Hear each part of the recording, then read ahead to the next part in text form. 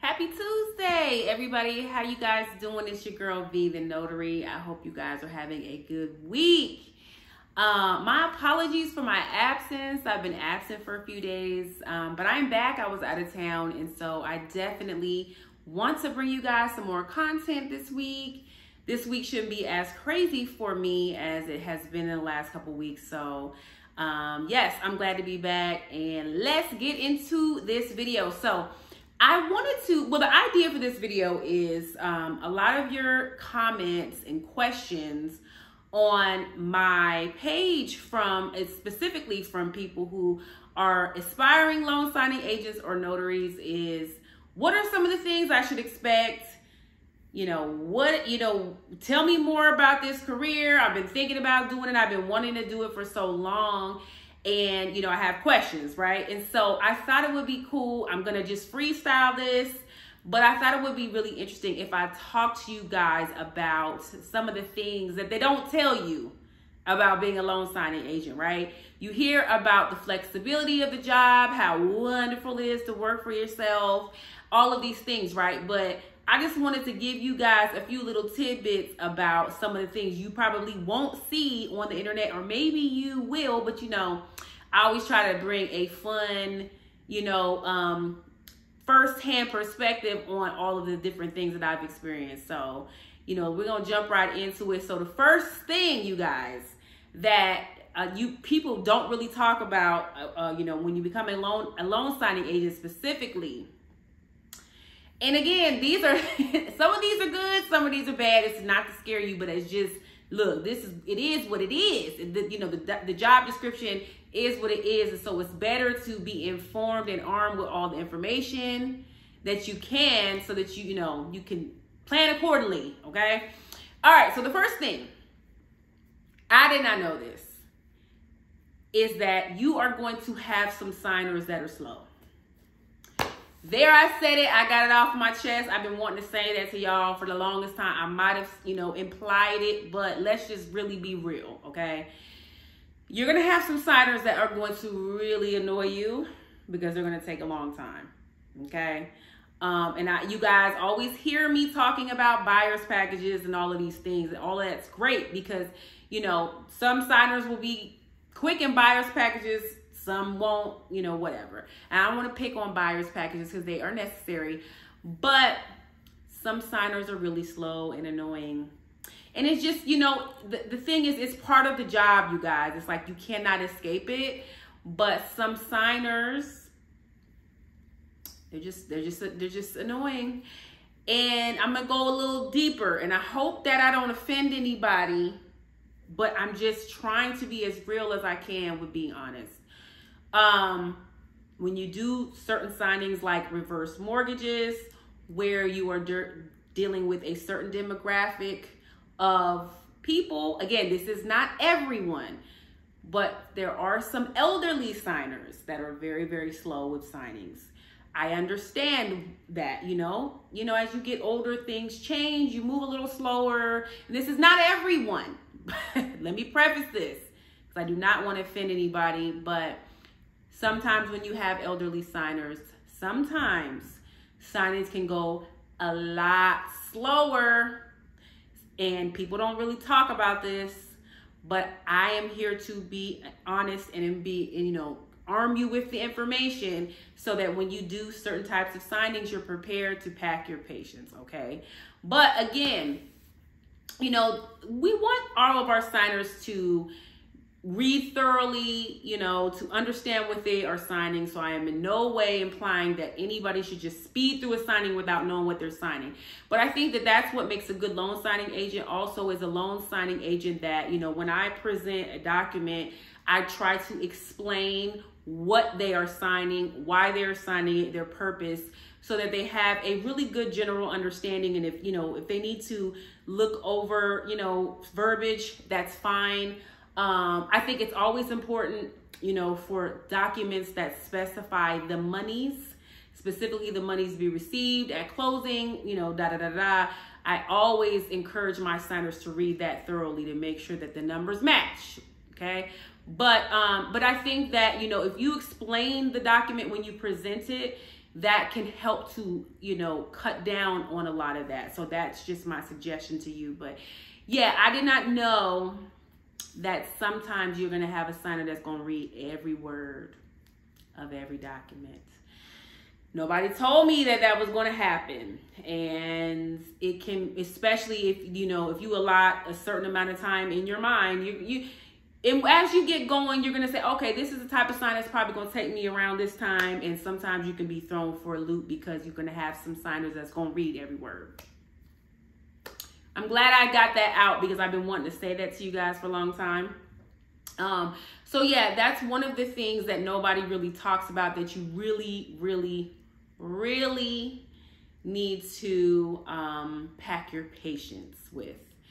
Um, another thing, and I've talked about on this channel, but I don't see a lot of channels talking about, um, is that nobody really tells you how you really have to hustle in this. You have to hustle in this career.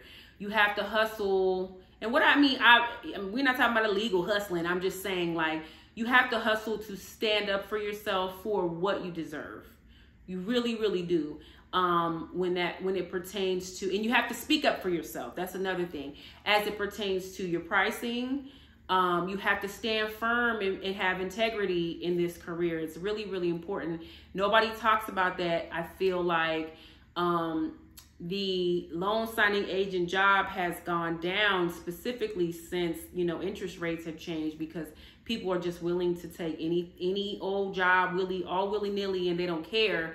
But you have to really you know nobody is talking about how you have to stand firm in what you deserve and not veer off the tracks from that because when you do that you really will it affects everybody. I'm telling y'all it's what you do as a loan signing agent affects all the other loan signing agents in your area i'm gonna tell you that right now if you live in houston I'm, I talk about Texas. I don't live in Texas, but I'm just saying, like, I talk about Texas because there are a lot of Texas notaries. It's a big, it's, it's the biggest state. You know what I'm saying? So if you live in Houston and you're willing to take a job for twenty five dollars, and then you getting lots of signings, and then these different agencies and you know um, they start to see, okay, well, they, we have people taking $25, so then they offer to the next person. They offer to, you, know, you really do mess with everybody's money. And I think that nobody's talking about that enough.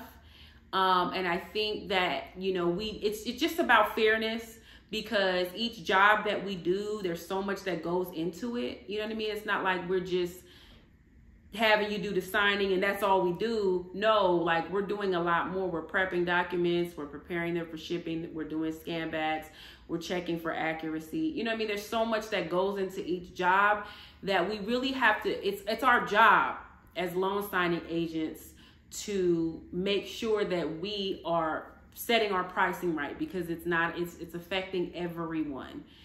Again, nobody is not talking about that that's something that you're not expecting, but it, it, hits you pretty quick when you get into it. You're like, wait a minute, I did all of that work and I'm just getting this. So, um, you know, these are the things that nobody's talking about, and we need to talk more about it, okay? Um, so that's the second thing. The third thing that nobody talks about and I I was expecting this just because I'm also a real estate agent, so I already know what time it is. The amount of you're doing a lot of driving. Um, and if you're new, you may not be expecting that. And unless you might be in a field where you're already driving a lot. I don't know.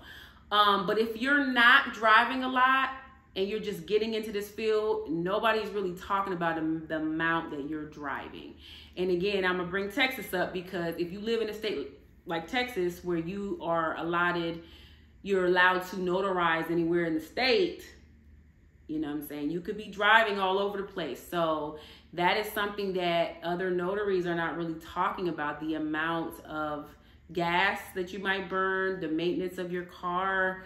Um, so you just really need to be, you need to be prepared for, um, you just need to be prepared for that. Fourth thing, that there no one's talking about, they're not going to tell you, is that you also have to be a crisis manager. In certain instances, I've talked to you guys about different little hiccups that you might encounter along the way whether it be your scanner or printer is jammed at the very, very last minute and you're scrambling. You got, you know, figure it out. Like, I can't tell you. Well, this doesn't happen to me anymore because in the beginning it was happening and I got prepared. Uh, and so I don't, I make sure that this doesn't happen anymore. You running out of toner in the middle of a job like this happens to you. You got to scramble, figure it out. You got to print out 150 more pages and you don't have any more ink. You know what I mean? Or you get to the signing and the signing, the signer changed their mind. like for real, then you're scrambling. You got to, you know, call around, call the signing services. You got to call, you know, settlement. Like, ooh, it's stressful. The signer don't want to give you their ID. The signer has an attitude. The signer lives in, you know, in the projects. I mean, these are things you get there, you're like, oh, I don't know. These are things that come up. And no, people are not talking about that. So you guys just, you really have to be prepared for like almost the unpreparable. I mean, I'm gonna give you another example. It sounds little, but this is major. I've been at a signing and you have to, most signings you have to do with blue ink and you have one pen. Again, this happened in the beginning. I learned from this. You have one blue pen. It runs out of ink. You forgot you don't have any other ones, or you thought you put blue pens in your little, you know, bag and you put black pens.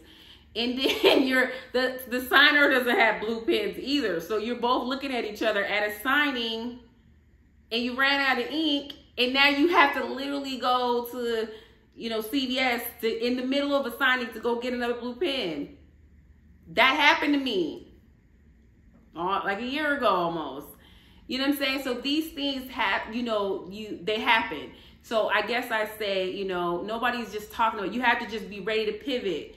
And I think it all comes with experience too, but I think being over prepared in the beginning is better than being underprepared because there were certain things I just wasn't expecting, and then it becomes it could be the smallest thing. Like you need, you cannot sign with you sign with a black pen, you're gonna have to do the whole trend, everything over. You know, so eh, one little pen can cause a lot of chaos. so you just have to kind of be prepared to roll with the punches. But like I said in the beginning, it's better to be over prepared.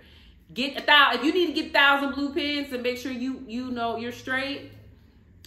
Oh, and y'all Make sure you have extra ink.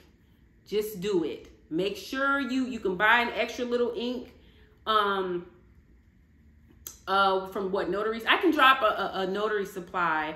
I'll actually I'll drop um, notary supplies. I think I did a video on that. If I didn't, I'll make sure I do a notary supply video. But make sure you have extra ink. If your ink pad runs out, and it will eventually run out, the more more notarizing that you're you're doing, you're gonna need more ink. You do not want to get somewhere where you cannot add ink to your embossed, you know, whatever you emboss or, you know, whatever it is, your Jurat stamp, you need to make sure you have ink for your ink pad. That's another thing. So just being prepared. Nobody talks about all the little nuanced things that can go wrong during signings, okay? Um, and then, you know, last but not least of what, you know, in the realm of loan signing, what people are just not talking about and preparing for is, and I try, I hammer it in your guys' head, but people are not emphasizing enough the fluctuations of being in a, a loan signing agent. You have to have other means of making money. You got to really dive into your general notary work as well. You cannot depend on this. We talked about inspections on this channel. We talked about apostilles. We talked about all different ways outside of just loan signing that when you get into this business, people like, oh, they, you know, they think everything is going to be rainbows and everything, but it's not like, you know, I think stuff is going to get a little tougher. I thought maybe stuff would turn around around the first of the year, but I don't think so, you guys. Stuff is getting tougher, so you just have to have a very well-rounded portfolio in your business of what the, the services you offer. If you don't, you're probably not going to do well um, as a loan signing agent, especially if you're doing it full time. You really need to have other, you know, unless you don't mind how much money you make, but if you're trying to make six figures, you definitely have to do better with making your business more well-rounded, okay? So those are about four or five things that I gave you guys that people are not talking enough about. Um, if you want me to go and elaborate on anything else that I talked about today, please let me know you guys. And um, yeah, so I'm going to be bringing you guys more content this week now that I'm kind of home. I don't have as much going on. I only have one loan signing so far um, this week. You know, that could change because I feel like towards the end of the week, you know what else is funny, y'all? Have y'all noticed when y'all go out of town, that's when y'all get all the loan signing offers? You guys, this weekend, I was actually in Dallas this weekend, and I probably got, I'm not even lying, 10 notifications, 10 to 15 notifications for loan signings between Friday and Monday. I was like, every time I go out of town, and I, I, my daughter's with her father, so I, if I was in town, I would have been, I would have really had the opportunity to pick up a lot of stuff. But I feel like every time I go out of town, this happens. Um, so, but yeah, anyway, I'll have more time to bring you guys content this week. So I'm excited about that. So yes, you guys, please like, subscribe, share.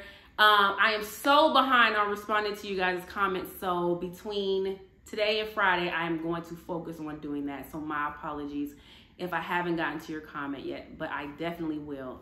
Okay, so you guys have a, a good rest of your day. I'll talk to you soon. Bye-bye.